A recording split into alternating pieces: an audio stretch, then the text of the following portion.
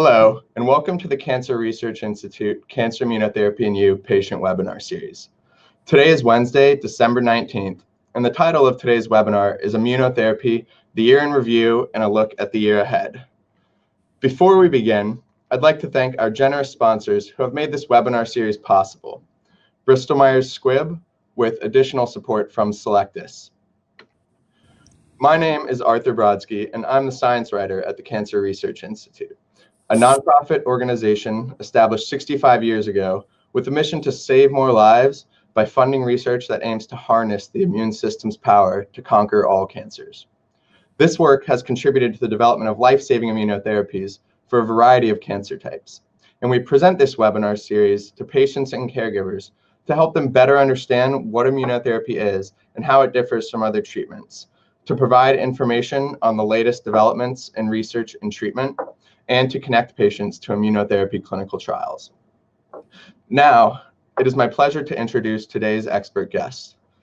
Elizabeth M. Jaffee, MD, currently works at Johns Hopkins University in Baltimore, where she holds many prestigious positions, including serving as the Deputy Director of the Sidney Kimmel Comprehensive Cancer Center, the Associate Director of the Bloomberg Kimmel Institute for Cancer Immunotherapy, the Dana and Albert Cubby Broccoli Professor of Oncology, the co-director of the Gastrointestinal Cancer and Diseases Program, and co-director of the Skip Viragh Center for Pancreas Cancer Clinical Research and Patient Care.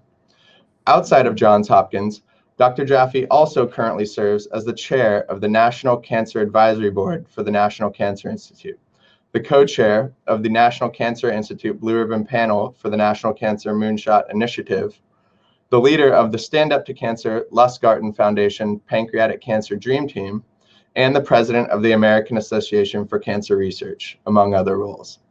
Dr. Jaffee has also received numerous awards in recognition of her contributions to the field, including the AACR Joseph H. Burchenal Memorial Award for Outstanding Achievement in Clinical Cancer Research in 2015, and the Johns Hopkins University Office of Women in Science and Medicine Vice, Vice Dean's Award in 2012.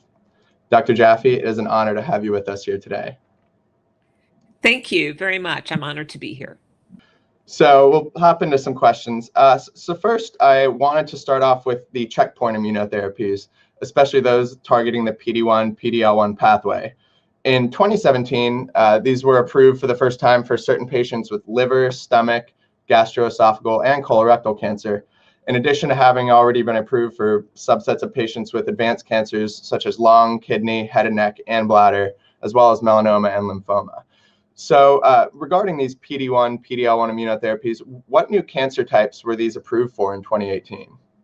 Yeah, you know, it's it's really an exciting time. The approvals just keep coming. Um, most recently, in the past year, we've seen approvals for cutaneous squamous cell carcinoma. We've seen it for cervical cancer, small cell lung cancer, and then non small cell lung cancer stage three. So prior to this, it was stage four. Now we're moving closer to uh, earlier uh, lung cancer. Um, and as everyone knows, we're even moving to uh, surgical patients. Hopefully, we'll see approvals for that in another year or two. Great. Um, and especially with respect to you mentioning lung cancer that claims more lives than any other cancer. Um, so I, I want to stick with lung cancer for a second because I also understand that there were approvals in 2018 uh, that now enable more patients to receive immunotherapy as a, as a first line therapy, or in other words, without having to receive another treatment such as chemotherapy first. Uh, could you talk a little bit about those combina- that combinations of immunotherapy and chemotherapy? Yes. Um, in fact, we're really excited that we can give immunotherapy up front uh, in two new indications uh, this year, because what this means is that we're giving the immune system more time to get educa- educated to the cancer and kill the cancer. Sometimes immunotherapy takes a little longer than um, chemotherapy. So, uh, two in particular were approved, two combinations. One is first line, either PD1 or PD-L1 blockade with chemotherapy um, for lung cancer, non-small cell lung cancer. Again, um, you know, this is the cancer that used to be a deadly disease. We've now converted it into more of a chronic cancer.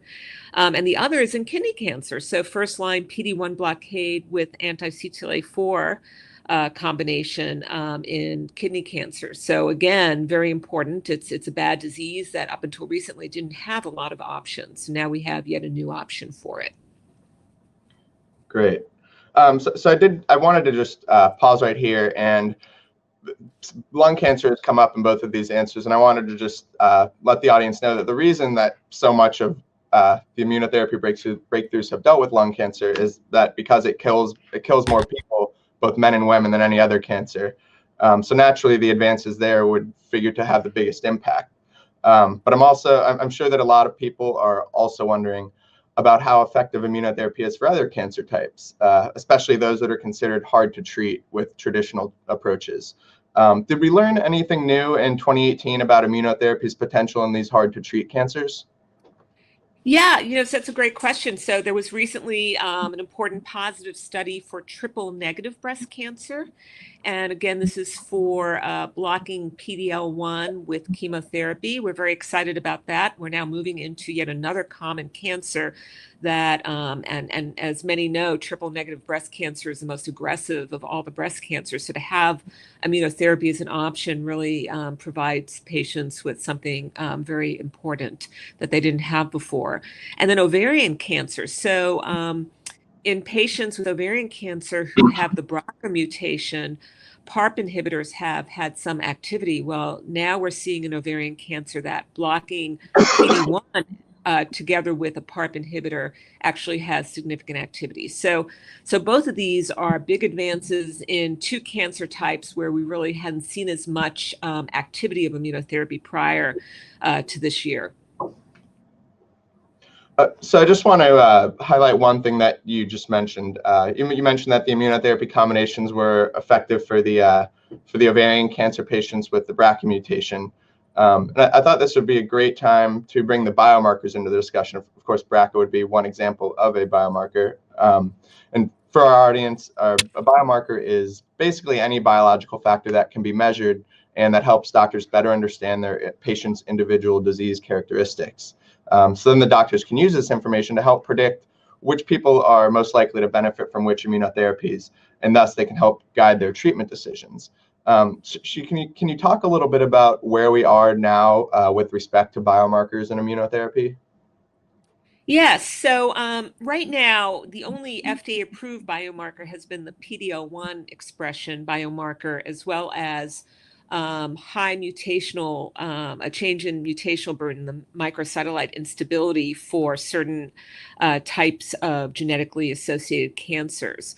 But um, there's also uh, a number of biomarkers that are under development, and we're finding a lot of correlation with clinical outcomes. So, for instance, looking at the tumor infiltrating lymphocytes, which are what these agents work on, well, we can now determine using PD-L1 and tumor infiltrating lymphocytes an immunoscore, we call it, and this is something pathologists looking at the tissue um, to come up with um, who may respond better to immunotherapy.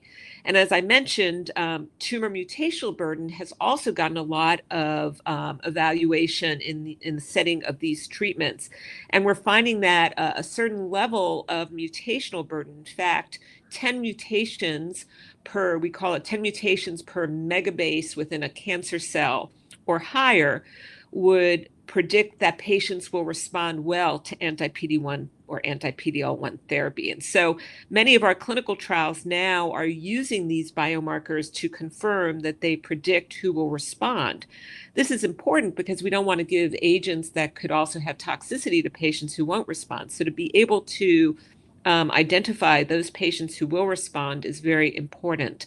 There are other areas that we're working on too. The tumor microenvironment is very important, understanding not only the tumor infiltrating lymphocytes and whether they express PD-L1 or not, the tumors express PD-L1 or not, but there are other um, signals within the tumor microenvironment that also inhibit the immune system from killing the cancer. And so our hope is to better understand these other signals and turn them into biomarkers to help predict who will respond to some of the new agents that we're developing in the field.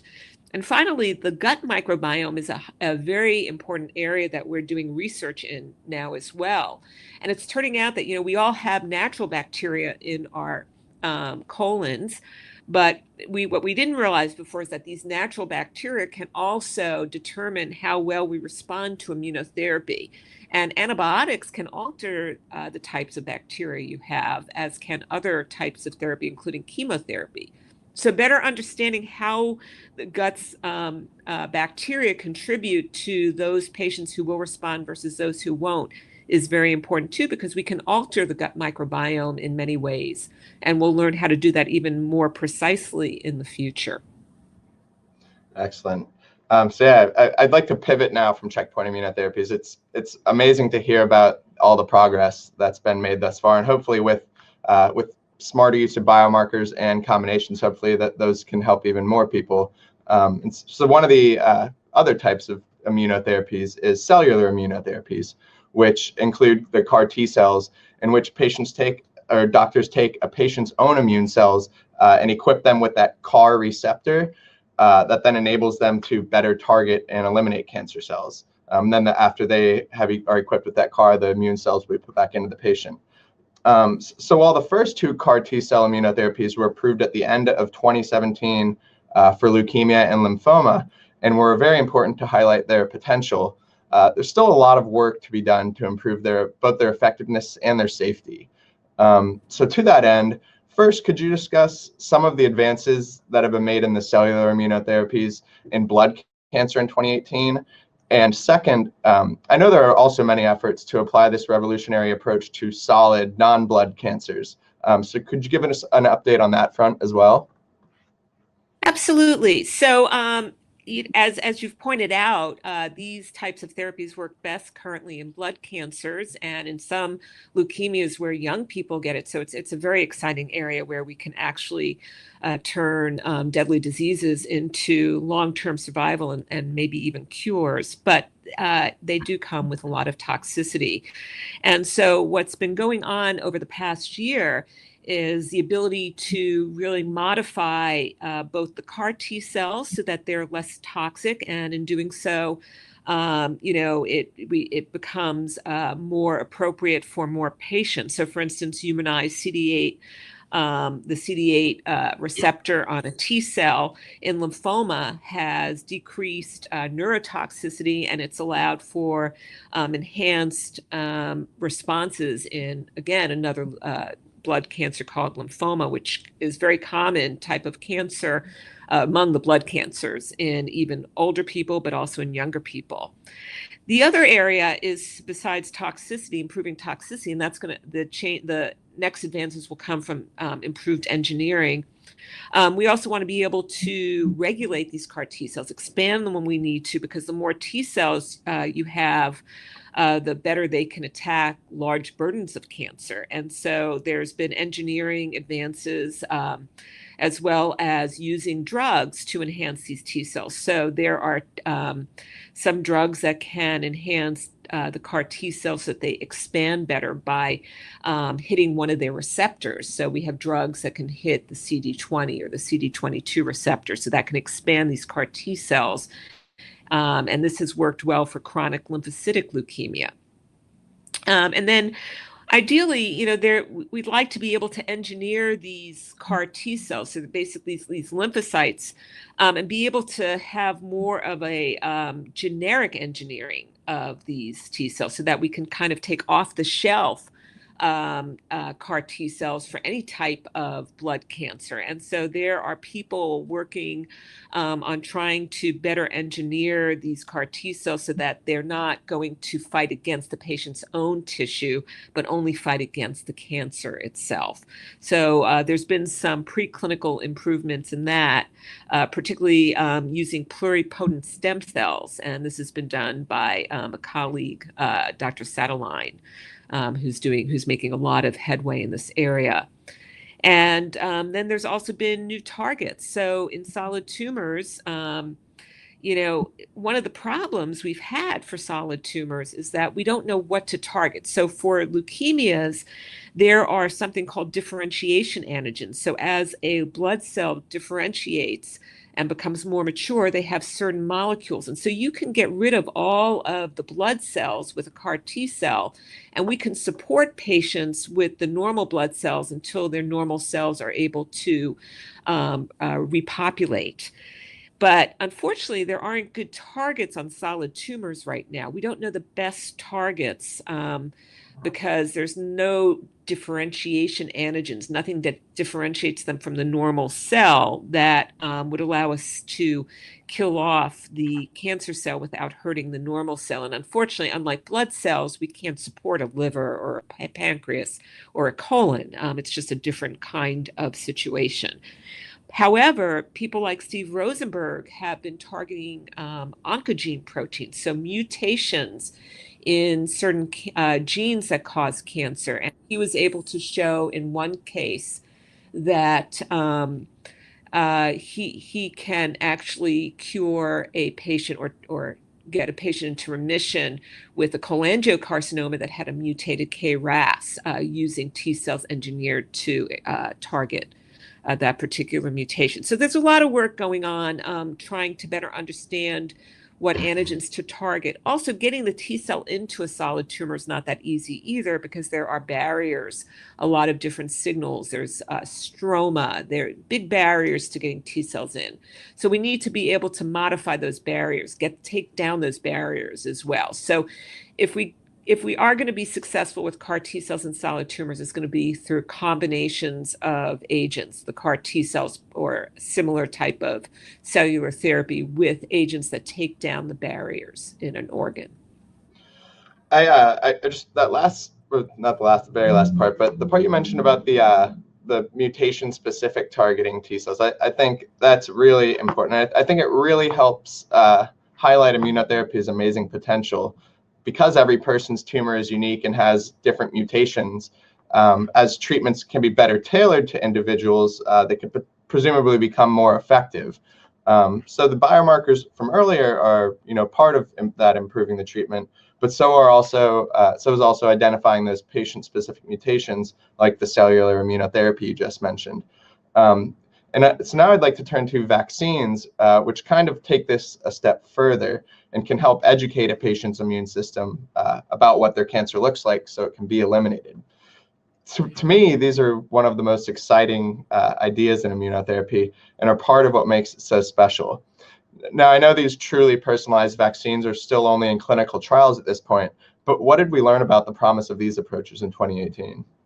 Right. So we, we've seen publications of a number of um, early um, personalized vaccines in patients with um, melanoma and glioblastoma, um, as well as human papillomavirus associated cancers. And what we're learning, um, one of them is an RNA based uh, vaccine that targets these mutations I was talking about. So, um, high mutation burden tumors that have lots of uh, new mutations, we can actually make vaccines either using RNA that um, expresses these mutations or actual peptides, uh, small pieces of protein that express these mutations. And two studies were reported showing that when you vaccinate patients with melanoma or glioblastoma with these peptide specific or RNA specific vaccines, you can get T cells that we can measure against these um, new antigens, these um, neoantigens or new mutations.